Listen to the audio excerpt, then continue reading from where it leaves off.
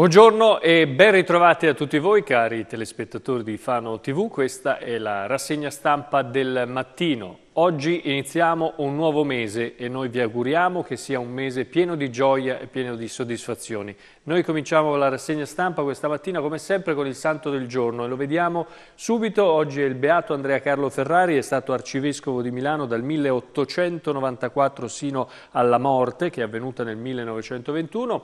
Il sole è sorto alle 7.24 e tramonterà alle 17.19 minuti. Per quanto riguarda il tempo, oggi avremo un cielo parzialmente nuvoloso con addensamenti più consistenti nell'entroterra, avremo anche precipitazioni sparse localmente a carattere di rovescio oggi e non si escludono deboli ed isolati fenomeni dalla serata nel settore centro-settentrionale della regione. Le temperature sono in aumento. Per domani, venerdì, il tempo peggiora ancora perché dalla tarda mattinata di domani avremo fenomeni diffusi prevalentemente di debole intensità ma più abbondanti nel settore centro-settentrionale della regione. Avremo anche la neve che si attesterà intorno e scenderà attorno ai 1500 metri, ma poi in graduale calo, soprattutto nel, nei monti della provincia pesarese, eh, intorno verso, verso, i 1100 metri dalla serata. Le temperature sono in lieve diminuzione. Peggiora ancora nella giornata di sabato 3 febbraio, perché come potete vedere dalla grafica della protezione civile,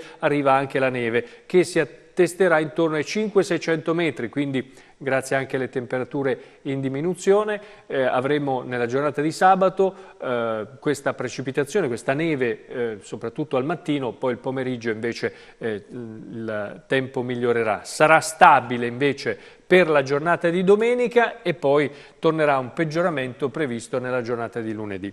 Allora, siamo in tanti anche questa mattina su Facebook in diretta e allora vado subito ad augurare una buona giornata a Daniele Livio, poi eh, Paola Mennuni, Giorgio Falcioni, Giacomo Toccaceli, Paola Luisa, Elio Lucarelli, Roberto Storoni, Andrea Sebastianelli, Anna Pascucci, siamo in tanti, auguri e buongiorno anche a Rosi, Sabrina e quant'altro. Insomma, siamo tanti, allora cominciamo a vedere subito i giornali. Partiamo dal Corriere Adriatico, il Corriere Adriatico di questa mattina che in prima pagina purtroppo, ma lo fanno tutti i giornali questa mattina, eh, aprono con la notizia, la tragedia, l'orrore di eh, questa eh, ragazza di 18 anni, appena 18 anni, che è stata fatta a pezzi eh, e eh, le membra messe in due valigie, in due trolley, che sono stati poi abbandonati lungo la strada. In casa eh, del nigeriano che è stato, di un nigeriano che è stato fermato eh, dai carabinieri,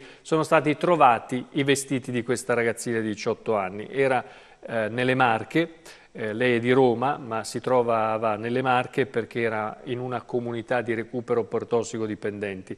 Era andata via volontariamente nella giornata di sabato, forse ha incontrato questo, questo, questo uomo che poi, appunto, secondo quelle che sono le indagini, le prime informazioni, l'avrebbe uccisa eh, atrocemente. Il ministro, e siamo sulla pagina di Pesaro, il ministro promette più forze dell'ordine, parliamo di Marco Minniti che ieri ha aperto la campagna elettorale, poco dopo invece è stato rapinato a Pesaro in piazza Redi, lo vedremo tra poco, l'ufficio postale. I turisti del carnevale ci sono, siamo sulla pagina di Fano, però non pernottano in città. Il titolare di Tuki Tour accusa i prezzi degli alberghi sono troppo alti. L'agenzia ha organizzato pacchetti per 400 eh, persone 400 visitatori abbinando anche le bellezze del territorio, non solo dunque il carnevale. Oggi intanto c'è un vertice in prefettura, le bancarelle verranno, alcune bancarelle verranno spostate in via Garibaldi, quelle del food, quelle che cucinano, quelle che propongono cibo, proposta della carnevalesca per aumentare gli spettatori, disagi però simili sono stati un po' in tutta Italia. Intanto l'opposizione politica Fano chiede eh, lumi al sindaco Seri, UDC e Progetto Fano in particolare, che sui problemi della gestione della sicurezza di questa edizione 2018, eh, che ha provocato appunto disagi al pubblico domenica scorsa con 2000 persone bloccate agli ingressi per 20 minuti e altri gravi fatti eccetera eccetera, ha, ha chiesto e comunque ha presentato una interrogazione in Consiglio. E poi eh,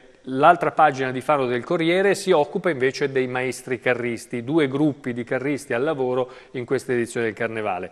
In 50 per i giganti di cartapesta, arte, tecnica e passione nell'opera dei maestri carristi del Carnevale. Gli, gli allestimenti più belli si possono votare con il tagliando pubblicato nella pagina regionale del Corriere Adriatico.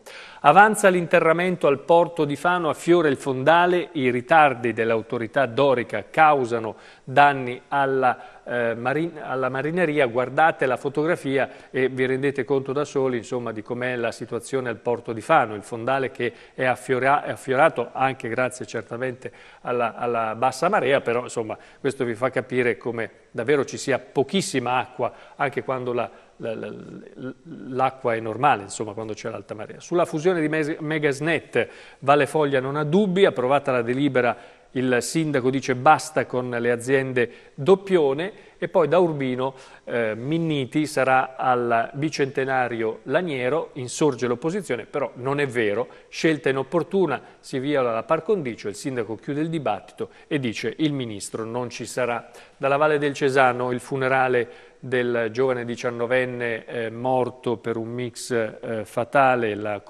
la, commozione soffoca le voci. Davide aiutaci ad amare la vita. Accorata omelia di Don Mirko, ragazzi custodite l'esistenza, dice come un vaso di creta, la Chiesa dello Spirito Santo non ha contenuto le centinaia di giovani accorse per le esequie, siamo a, a terre eh, roveresche dove appunto ieri, come vedete dalla foto, c'è stato il funerale di Davide Cardinali.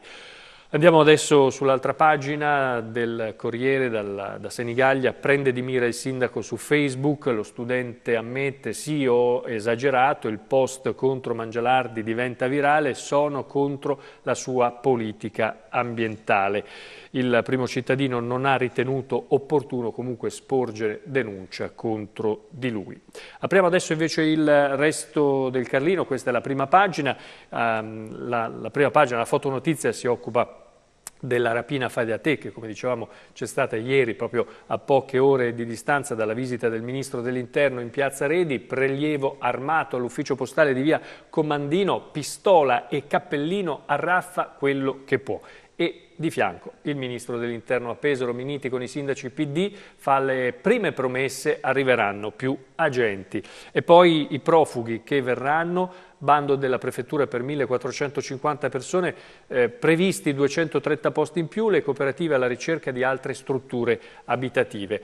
La moglie difende il professore eh, pesarese eh, che è stato arrestato con l'accusa di aver fatto sesso con una quindicenne e la moglie dice non ha toccato la sua allieva, solo un messaggio audio, solo messaggi audio, mi ha giurato di averla supplicata di lasciarlo stare, invece si è insinuata nella famiglia frequentando anche nostro figlio.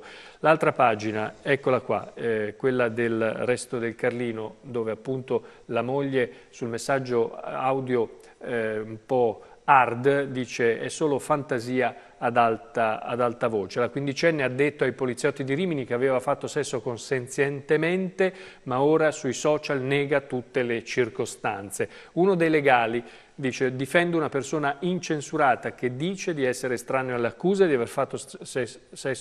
eh, di, di aver fatto sesso con una quindicenne. E poi eh, l'altra pagina del, del resto del Carlino appunto sulla eh, sulla rapina che c'è stata in Piazza Redi, eh, fa ridere perché se davvero si sono svolti così sembra una, una, una scena di un film alla Fantozzi. È una rapina e la, la, la, la, dipendente delle poste dica prenda il biglietto per la fila, malvivente con una pistola in tasca irrompa le poste di Piazza Redi ma non trova ascolto, insomma dovuto, eh, ha dovuto insistere un po' per dire guardate che questa è una rapina datevi da fare. Allora, la polizia stradale invece rassicura gli etilometri basteranno, la questura risponde all'allarme lanciato dal sindacato dei polizia, gli, eh, gli 11 ora sotto revisione rientreranno comunque presto. In caso di emergenza useremo quelli in dotazione al compartimento Marche. Vogliamo risposte sull'ospedale, invece siamo a Fossombrone, eh, dove c'è stata la protesta di alcuni sindaci di Bonci, Marotesi, eh, Tomasetti e Taddei. Ieri pomeriggio ancora una manifestazione per ribadire richieste già più volte indirizzate ai vertici regionali della eh, sanità. Oggi invece ci saranno i funerali della neonata morta ad Apecchio. Alle 15 nel santuario di Apecchio, i funerali della piccola Larissa, la bambina di sei mesi trovata morta dai genitori nella sua culla, una morte naturale causata da un probabile rigurgito. Ciao Davide, che sorridevi con gli occhi le parole di Donna Ambrosini mostrando la foto del diciannovenne morto domenica scorsa, una folla oceanica con eh, palloncini bianchi lanciati nel cielo per l'ultimo saluto al diciannovenne di San Giorgio di Pesaro, tragicamente deceduto a causa di un malore domenica scorsa. In tantissimi hanno gremito la chiesa di Santo Spirito. Poi la curiosità pubblicata dal quotidiano Il Resto del Carlino, sorpresa, il figlio di Aguzzi fa propaganda per il Movimento 5 Stelle, Filippo, dice e sostiene serve un cambiamento. E a proposito, qui c'è il papà invece che ieri ha fatto una conferenza stampa, il papà di, appunto, del sindaco di Colle al Metauro, Stefano Guzzi, eh, che dice ehm, eh, che ha presentato il bilancio, più soldi al sociale, zero aumenti e investimenti per 3,6 milioni di euro. Poi parla anche della nuova palestra di Villanova, della rotatoria che dovrebbe eh, essere costruita a Calcinelli e degli interventi sui vari eh, cimiteri del comune. Con la nomenclatura del PD, ecco la fotografia del ministro Minniti che ieri eh, ha appunto eh, presenziato per la, sua, per la, sua, candidatura, il ministro candidato Minniti ai, sindaca ai sindacati, o meglio eh, in vista del 150 Rossignano dice rafforzeremo l'apparato di eh, polizia. Ancora dal resto del Carino, questa volta Pian del Bruscolo. Sui vaccini è scontro a Valle Foglia. Grillini bocciati, famiglie deluse. Il sindaco Occhielli dice assurdo chiedere di non rispettare la legge. Le richieste del Movimento 5 Stelle, i bambini non in regola con i vaccini accolti alla scuola dell'infanzia. Da Urbino la residenza protetta ristrutturata accoglie i primi dieci anziani, l'assessore Maffei, nuove richieste per accedere alla struttura. La pagina di Fano invece, eccola qua, sul carnevale, il valzer delle bancarelle. Valzer perché in effetti prima sì, poi no, poi eh, alla fine eh, questa è la soluzione per recuperare spazi in via Gramsci e ottenere circa 5.000 ingressi in più. Oggi si proporrà dunque al prefetto di spostare gli ambulanti in via eh, Garibaldi. L'idea è di creare una eh, street food, una via del cibo, non fattibile invece l'ipotesi di allungare il percorso oppure aumentare i varchi. E Pesaro sale invece sul treno a vapore. Ci sarà una carrozza destinata alla delegazione rossignana. L'altra pagina di Fano del, eh, del, Resto del Carlino, torneremo ad allenarci al centro Don Gentili, posata la prima pietra di un progetto da mezzo milione di euro, si tratta di una nuova struttura polifunzionale che verrà eh, realizzata entro l'anno. E poi la polemica del gruppo La Pandolfaccia che sulle iniziative organizzate a Fano eh, dedicate ai malatesta si lamentano perché sono stati snobbati. Insorge La Pandolfaccia, eh, da domani intanto al 25 febbraio ci saranno conferenze, mostre e visite sulla signoria di eh, Fano. Chiudiamo con una notizia eh, curiosa, la notizia che abbiamo trovato è sul Carlino, donne motori addio, la Formula 1 cambia eh, come cambia? Via le ombrelline alla partenza dei Gran Premi. E quindi i tempi cambiano. E si sono accorti nel 2018 che le ombrelline, eh, le, le ragazze che tengono l'ombrellino e i piloti che sono fermi in macchina pronti per la gara non servono, meglio tardi che mai. Salutiamo ancora tutti quelli che ci seguono su uh, Facebook, io vi saluto, grazie per averci seguito, noi ci vediamo questa sera alle 20.30 con il telegiornale Occhio alla Notizia. Buona giornata a tutti.